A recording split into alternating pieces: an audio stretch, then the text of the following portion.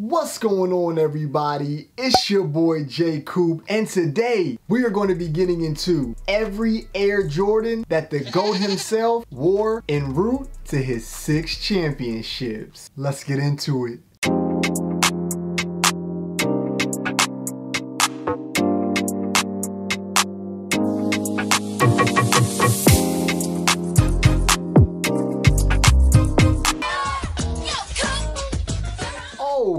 Okay, guys, we all know Michael Jeffrey Jordan is the GOAT, man. He is the greatest basketball player of all time. In my eyes, he's the greatest athlete of all time. The man went to the NBA Finals six times and never was defeated. That's six championships, people. He didn't do it by himself. He had the great Phil Jackson. He had the defensive assassin Scottie Pippen. He had the rebounding machine Dennis Rodman. But Michael Jordan was the man. For my younger supporters, you may just know him because of his popular shoes, but in Michael Jordan's playing time, there was nobody like him. Back to his shoes, they're so iconic. Even the ones that he didn't wear en route to championships. We're gonna focus on all the Air Jordans that he wore to his six rings. Every shoe that I'm gonna show you was designed by Tinker Hatfield. He played a very intricate role in the iconic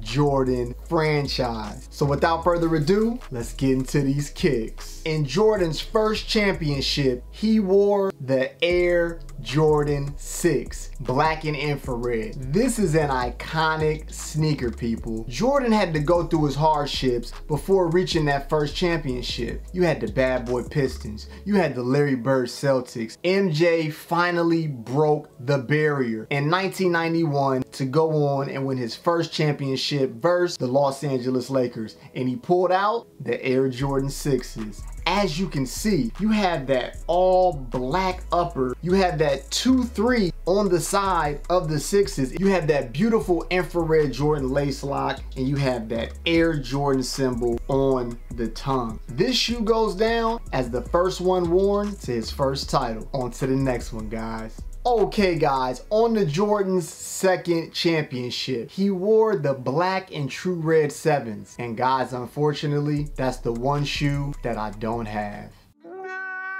But I do have the Bordeaux and Cardinal 7s, but there's no reason for me to show those to you because you know what those look like. Let's break down the shoe that Jordan wore to his second championship. He wore the Air Jordan 7 versus the Portland Trailblazers. That was the famous shot that he made over Cliff Robinson. The 7 is such an iconic shoe. Tinker Hatfield made this with sort of a Huarache look, and that's where you get that tongue from and just the whole silhouette of the Jordan 7. And guys, eventually, I hope to get my hands on those black and true reds on to the next championship. 1994, championship number three, and MJ pulled out the Air Jordan 8 playoffs. The playoff eights are insane, man. This is probably one of my favorite shoes ever right here. MJ wore these to complete his first three-peat versus the Phoenix Suns. They had a squad, man. But MJ was the GOAT. As you can see, the Air Jordan 8 has those two straps across the front of the shoe that makes it like no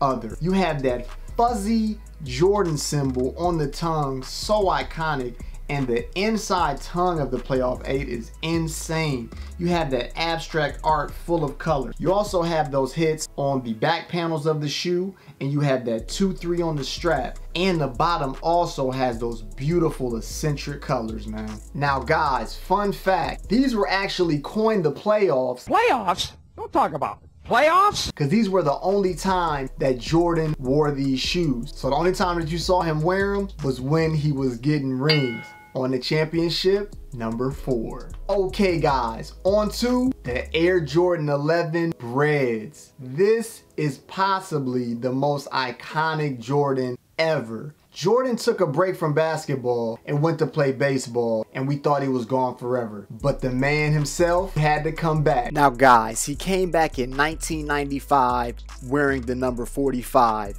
but he ran into the buzzsaw of Penny Hardaway and Shaquille O'Neal for the Orlando Magic. But that next year, let the games begin. MJ came back with a bang to a 72 win season and arguably the greatest team ever. In the finals, he faced the Seattle Supersonics and he pulled out the Air Jordan 11 bred. 1996 might be the best year for sneakers. You had the Grant Hill Filas. You had the Gary Payton Zooms. You had the Scottie Pippen up tempos. None tops these right here. As you can see, we have that all black upper with that black patent leather that was never before seen on a sneaker. We have that white going around the bottom, going into that red translucent sole. You have that red Jumpman on the back, and you have your Air Jordan on the tongue with the red Jordan symbol, the black Jordan sign, and that carbon fiber. I know I said the H were one of my favorites, but these are one of my favorites as well. You can't really get more iconic than the Air Jordan 11. And Jordan went on to win his fourth championship in this shoe right here. All right, guys, on the ring number five.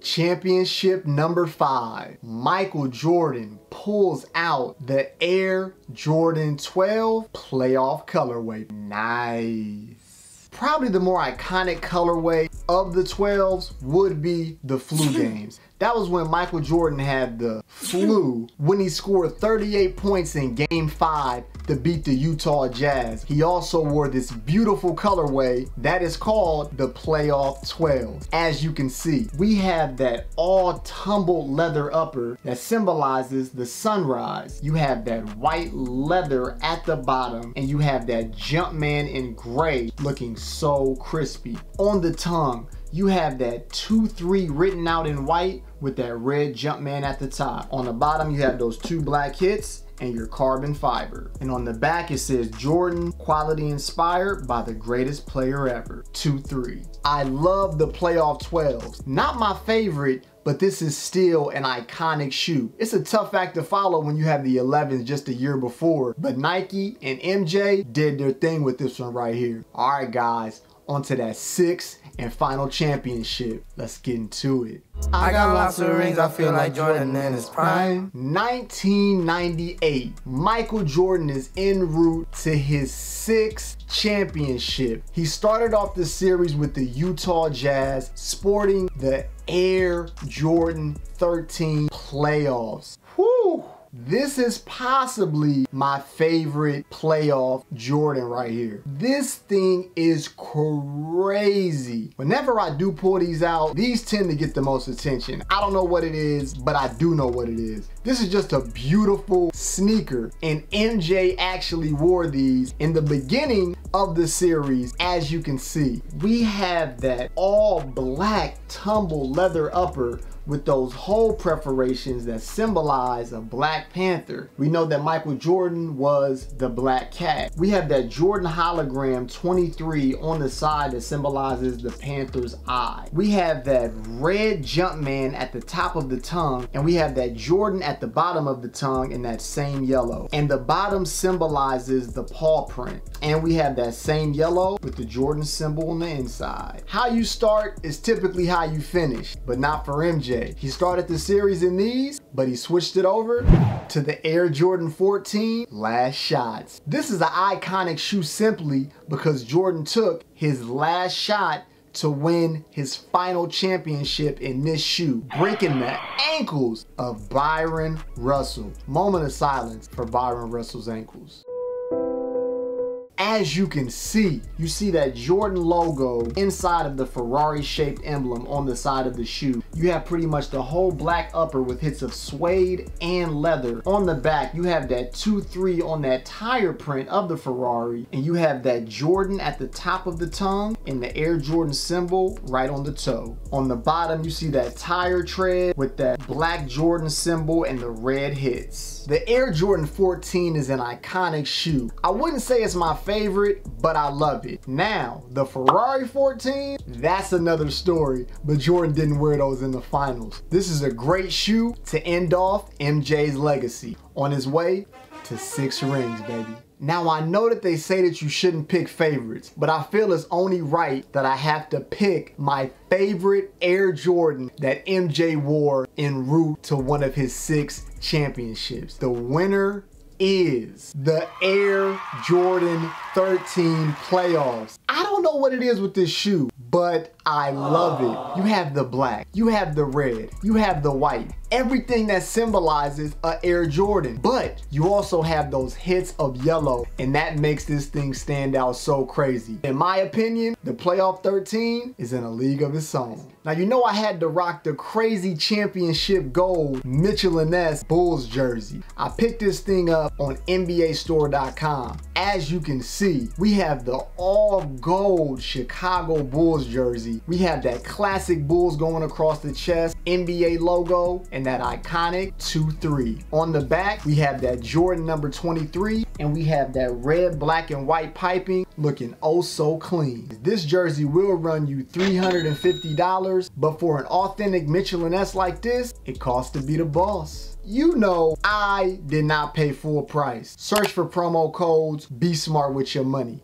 But this jersey is fire. Okay guys, there you have it. Every Air Jordan worn to Michael Jordan's six championships. I hope you enjoyed the video. Let me know in the comment section, what's your favorite Air Jordan worn? I know people are gonna have something to say about this one. If you're new to the channel, hit that subscribe button. And if you enjoyed the video, smash that like button. It goes a long way. Follow me on Instagram at Jackson S. Cooper. Till next time, stay blessed. Peace.